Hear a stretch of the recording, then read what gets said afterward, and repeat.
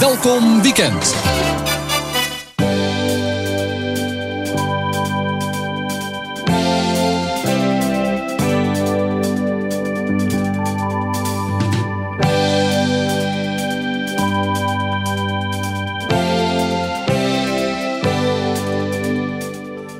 RPL brengt woorden bij u thuis. Voor de vaste liefhebbers, een goeiemorgen. Het is weer tijd voor Welkom Weekend, aflevering 1620 voor deze zaterdag de 11e december. Een bijzondere radiodag voor RPL.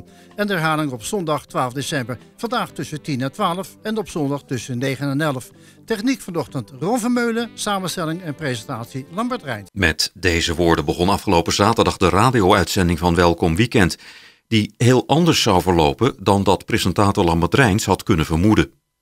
Tijdens de uitzending werd hij weggestuurd en werd hij begeleid naar de tv-studio, waar familie en een paar vrienden zaten. Lambert en Kees Kok, een van de technici van het programma, werden daar opgewacht door burgemeester Victor Molkenboer. Wat is dat? Weet je wat dit is? Ja, ja dat is mijn, mijn, mijn jasje volgens mij. Wil je die even aantrekken? Oh. Uh, mag dat, moet dat nu? Moet ik niet Ik wil, draaien? ja, ik wil dat je dat nu doet. Ik wil dat je dat nu doet. Ja.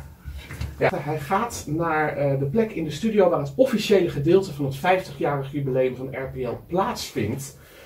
En daar staat iets te gebeuren. En, en ja, wat dat is, dat gaan we meemaken. Ik kijk even naar technicus Ron Vermeulen. Is er al een verbinding met uh, die speciale ruimte?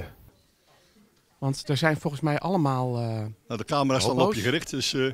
Kijk, ja, ja, ja, ja, Lambert komt daar binnen en we gaan even luisteren naar de personeel, speech personeel. van uh, voorzitter Mees Ton ook uh, plekje.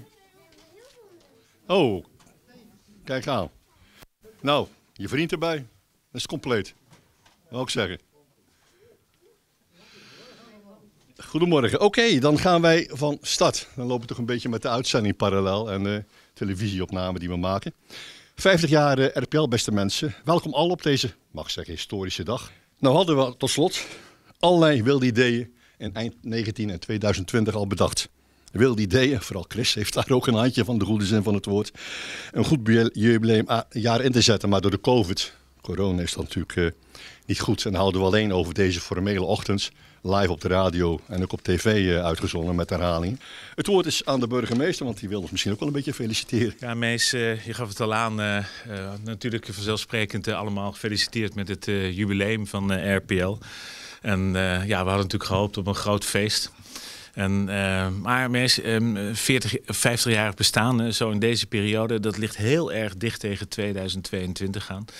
En uh, in 2022 is natuurlijk ook het jaar dat Woerden 650 stads, uh, stadsrechten heeft. Dus laten we gewoon kijken of we volgend jaar weer daarop mee kunnen liften met RPL. En dan toch ook dat feestje extra kunnen vieren voor de medewerkers, maar ook binnen onze samenleving. RPL bestaat 50 jaar en ik heb het al even laten vallen, maar ik sprak over professionele amateurs. Maar ja, zonder de vrijwilligers had het niet gekund. En zonder vrijwilligers geen, geen RPL. Ik wil hierbij in ieder geval een cheque uitreiken die je vast wel weer voor wat apparatuur of wat activiteiten kunt gebruiken. Maar van harte gefeliciteerd. En dat doen we dan even zo. Ja. Ja, kunnen we ook draaien. Ja, en dan, nou ik hier dan toch ben, uh, meest voor het jubileum, is het uh, ook wel aardig. Uh, en ik sprak al over de vrijwilligers om uh, in ieder geval uh, een uh, tweetal vrijwilligers een beetje in het extra in het zonnetje te zetten. En dan begin ik bij, bij Lambert, beste Lambert. Ehm, fijn dat je hier bent. je bent al heel lang als vrijwilliger actief. In 88 begonnen. Enorm. Jongen, jongen, jongen. Dat betekent dat je dus alweer 33 jaar lang actief bent voor de omroep. Dus ja, dus er is ook wel heel wat historie bij jou zelf zitten. En ook de verschillen van, van, van toen. Want ja, als je een, een, episode van tien jaar hebt, dat is al vaak dat je denkt van, er zit al een wereld tussen. Maar ja, er zal heel veel veranderd zijn in die 33 jaar. Um, Lambert, zonder jou weten um, hebben collega's een aanvraag gedaan voor een koninklijke onderscheiding. Het kostte enige moeite om je hier te krijgen. maar dat is gelukt. En met enige overredingskracht, waarbij we dan toch een beetje verklapt uh, hebben wat er aan de orde was. Want anders hadden we niet de zekerheid dat Lambert hier zou zitten. Dus uh, Lambert, ik ben heel blij en trots te mogen zeggen dat Zijne Majesteit, onze koning, heeft behaagd te benoemen tot lid in de orde van Oranje Nassau.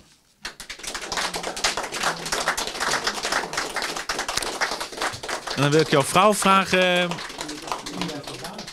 om hem op te spelden in het kader van COVID. Ja, ja. Lukt het? Ja.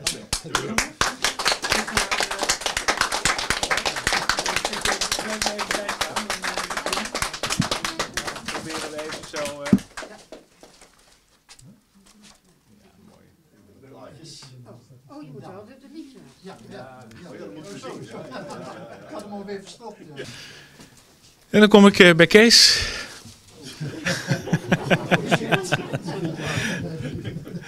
En Kees, uh, we zijn ook heel blij dat jij er bent. En, want je hebt in het ziekenhuis gelegen, corona.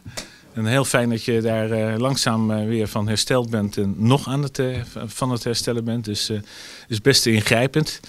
Dus ondanks dat je gevaccineerd was, maar laten we ervan uitgaan dat het daardoor het fijn is dat je hier gewoon weer zit, Kees, en samen met je partner. Mooi. Um, Kees, half jaar dat de RPL bestaat, ben je 35 jaar actief voor de omroep. Je bent in 87 begonnen als geluidstechnicus. En dat doe je tot op de dag van vandaag nog. Hè?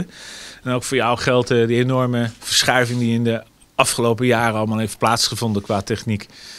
En uh, dat moet uh, enorm zijn. Uh, geluid, montage voor die diverse radioprogramma's. En ook, ja, dat, dat is vandaag de dag allemaal weer zoveel anders dan dat dat in het verleden was.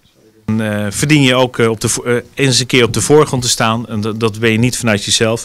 Ik ben in ieder geval blij en trots dat ik ook voor jou mag vertellen vandaag dat zijn majesteit de koning het heeft behaagd je te benoemen tot lid in de orde van Oranje Nassau.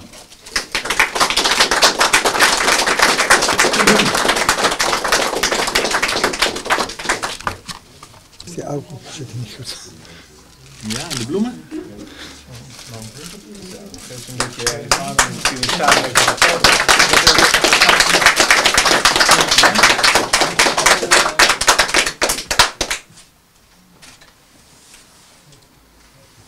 Mooi, dan geven we deze mee. Oh. Er zijn nog, uh, nog wat andere dingen bij. Oh. Lambert en Kees, van harte gefeliciteerd. Misschien uh, met z'n tweeën nog even, met z'n vieren. Met z'n vieren. Kees ook een vaste technicus, hè? Een van de vaste technicus. Samen met familie was er toch nog ruimte voor een klein feestje voor de geridderde mannen. Maar daarna ging de uitzending weer snel door.